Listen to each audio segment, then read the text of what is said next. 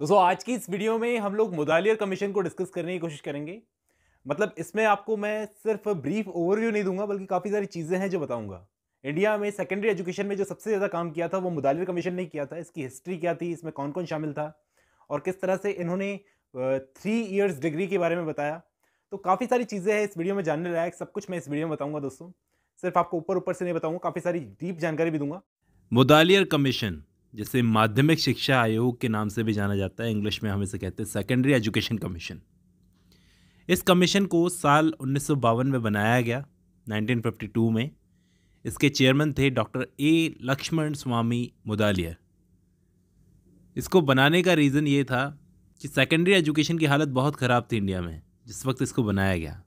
क्योंकि इससे पहले का जो कमीशन बना था राधा कृष्णन कमीशन 1948-1949 में वो फ़र्स्ट एजुकेशन कमीशन था इंडिया का आफ्टर इंडिपेंडेंस लेकिन प्रॉब्लम ये थी कि वो कमीशन हायर एजुकेशन पर फोकस करता था. राधा कृष्णन कमीशन के जो चेयरमैन थे, वो डॉक्टर सर्वपल्ली राधाकृष्णन थे और उस कमीशन को यूनिवर्सिटी एजुकेशन कमीशन के नाम से भी जाना जाता है. तो हम लोग बात कर रहे थे मुदालियर कमीशन की. इसको समझने से पहले हमें ये जानना पड़ेगा कि ये सेकेंडरी एजुकेशन क्या होता है? जिसकी इस कमीशन में बात की गई है।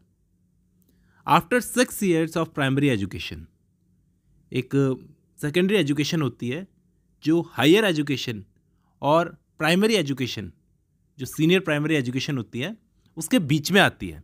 सात साल तक बच्चा पढ़ता है six seventh eighth ninth tenth eleventh तो ये जो क्लासेस होती है, जिसे बच्चा ग्यारह की एज से सत्रह की एज तक लेता है फिर इसके बाद में सीनियर सेकेंडरी शुरू हो जाता है और कॉलेज एजुकेशन शुरू हो जाती है। तो इन्होंने क्या रिकमेंडेशंस दी? हम समझने की कोशिश करते हैं। लेकिन उससे पहले हम लोग ये समझने की कोशिश करते हैं कि इसके अंदर कौन कौन शामिल था, इसके सदस्य कौन थे? हो सकता है आपसे क्वेश्चन बन जाए।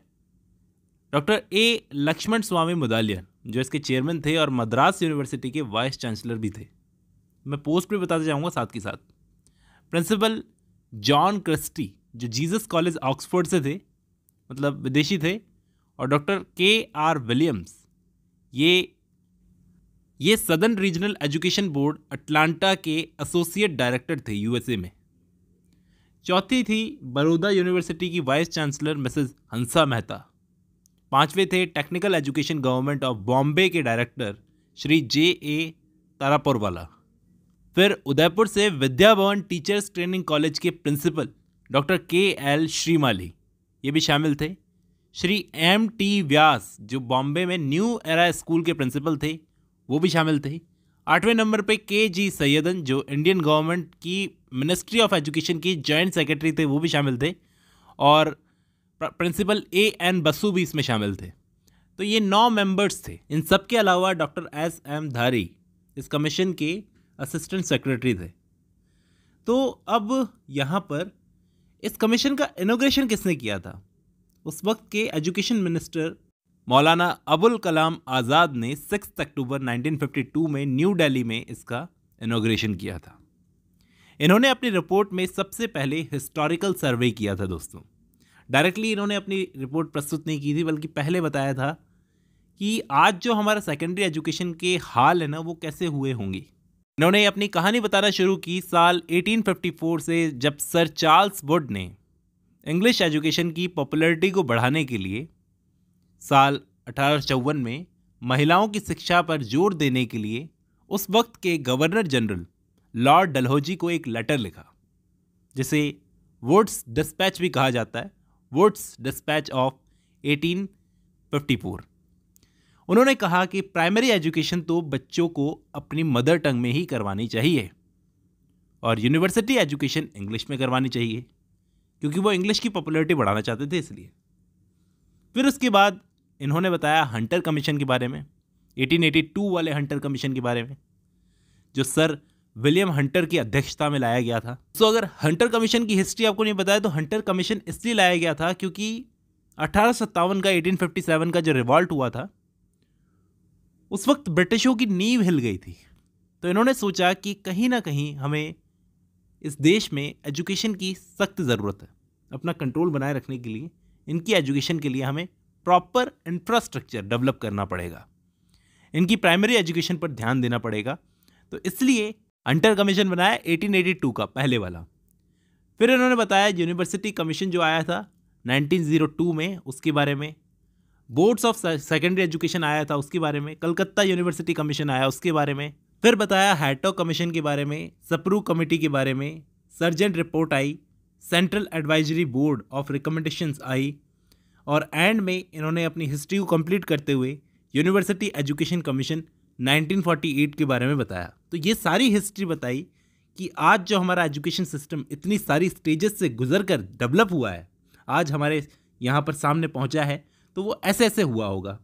और आज की डेट में मतलब जिस वक्त मुदालियर कमीशन आया था, उस डेट में इंडियन एजुकेशन का पैटर्न कैसा था? पैटर्न ये था कि पहले आती थी प्री प्राइमरी स्टेज, फिर आती थी प्राइमरी या फिर पोस्ट प्राइमरी स्टेज, ठीक है?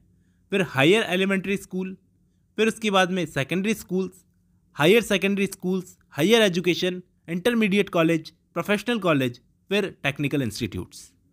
तो इस तरह से एक पैटर्न था।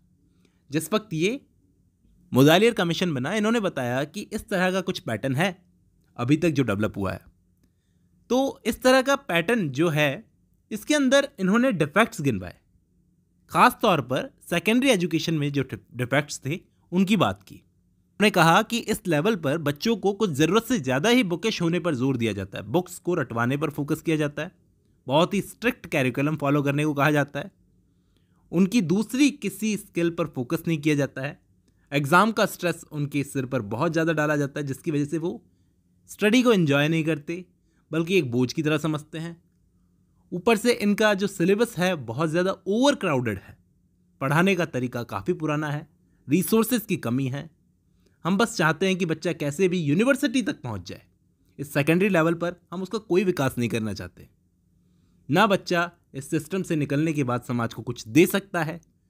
हर क्लास में बच्चे इतने ज़्यादा भरे हुए हैं कि टीचर्स की कमी पड़ जाती है।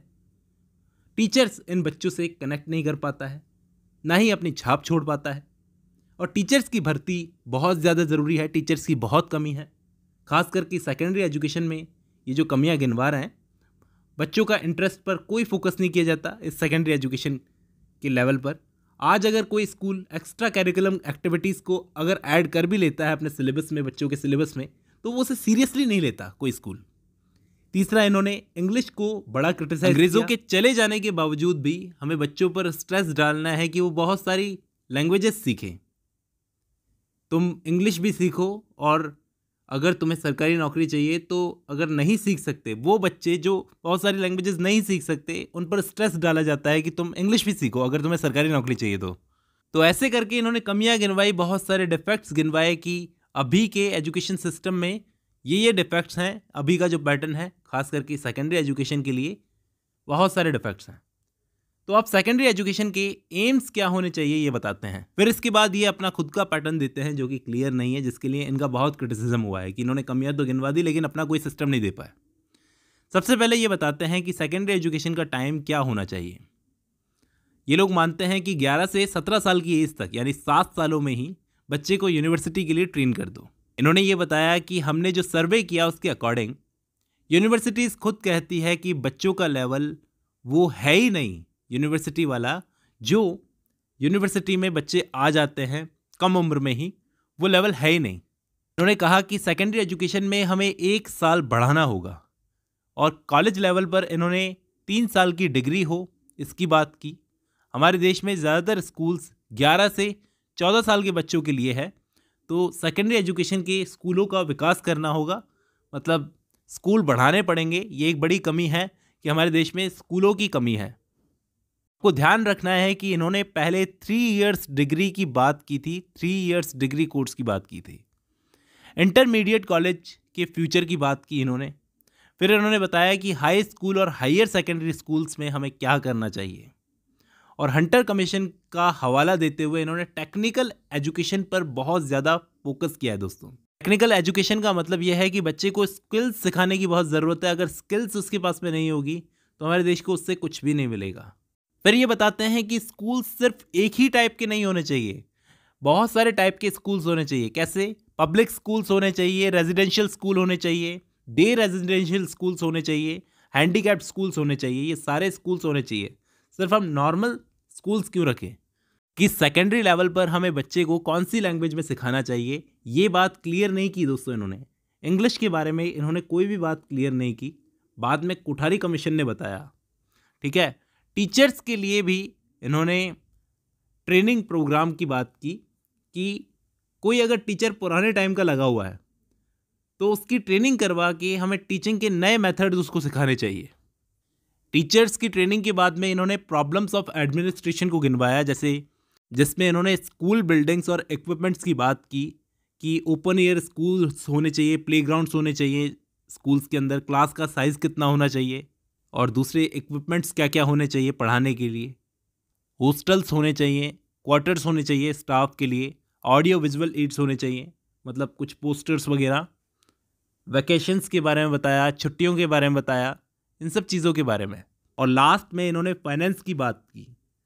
तो इस तरह से काफ़ी काम किया था मुदालियर कमीशन ने, लेकिन दोस्तों कुछ कमियों के कारण इसको क्रिटिसाइज़ किया जाता है। तो मैं आपको बताता हूँ कि कौन कौन से चेंजेस आए। सबसे पहले all India advisory board of secondary education form किया गया, इनकी इस रिपोर्ट के बाद में। रिपोर्ट के बाद में ही एनसीसी बनाया गया बच्चों के लिए। बच्चों पर इंग्लिश का प्रेशर नहीं डाला गया मदर टंग में बच्चों को पढ़ाना शुरू किया गया। फिर इसके बाद में टीचर्स की ट्रेनिंग शुरू हुई, ये बहुत बड़ी सक्सेस थी। इनकी कमियों की अगर मैं बात करूँ तो कमियाँ ये थी कि इन्होंने अपने कैरिकुलम को ओवर बर्डन कर दिया था। बहुत सा, बहुत ज़्यादा डाइवर्स कर दिया था। इंग्लिश लैंग्वेज के लिए कोई क्लियर सजेशन नहीं दिया। और बहुत ही इल डिफाइंड स्ट्रक्चर था ऑफ़ सेकेंडरी एजुकेशन इनका। और वुमेन एजुकेशन की तो कोई बात ही नहीं की गई। थोड़ी बहुत बात की गई, वो भी ढंग से नहीं की गई। तो इस तरह से हमें समझ में आता है कि मुदालियर कमीशन क्या था। वैसे अगर डिटेल वीडियो बनानी पड़ी तो डिटेल भी बनाऊँगा दोस्तों इस पर फ़िलहाल आज की इस वीडियो में इतना ही। अब जब आपने ये वीडियो खत्म कर लिया तो मैं उम्मीद करता हूँ मुदालियर कमीशन आपको समझ में आया होगा दोस्तों। कोठारी कमीशन पर भी मैंने एक छोटी सी वीडियो बना रखी है, लेकिन डिटेल से कवर करूँगा कोठारी कमीशन को भी। चलिए आज की इस वीडियो में इतना ही, मिलता हूँ नेक्स्ट वीडियो में।